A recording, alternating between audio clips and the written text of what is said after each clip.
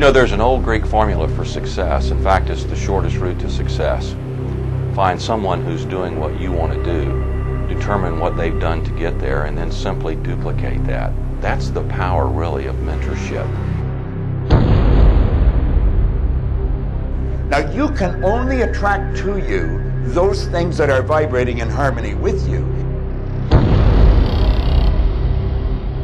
see, thoughts are things, as Napoleon Hill tells us in Think and Grow Rich. In fact, all material things begin as thought energy.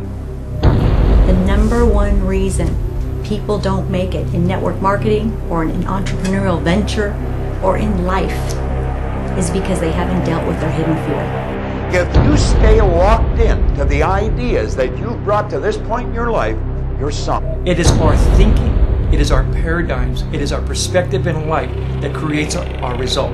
That most people who have a job or run other types of businesses may never achieve.